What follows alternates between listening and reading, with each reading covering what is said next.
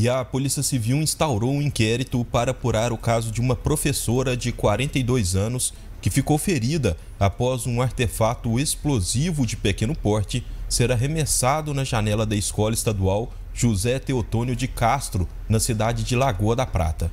Dois adolescentes foram identificados como suspeitos de participação no crime, segundo a polícia, mas apenas um deles foi encaminhado para a delegacia.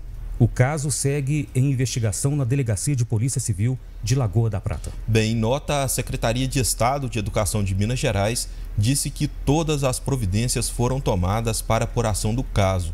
Além disso, a secretaria esclarece também que é falso um áudio que circulou na cidade com o objetivo de causar temor na população e que o caso está sob investigação das autoridades de segurança competentes.